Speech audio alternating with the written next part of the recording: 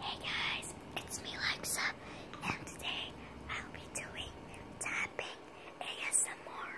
Without further ado, let's get started. So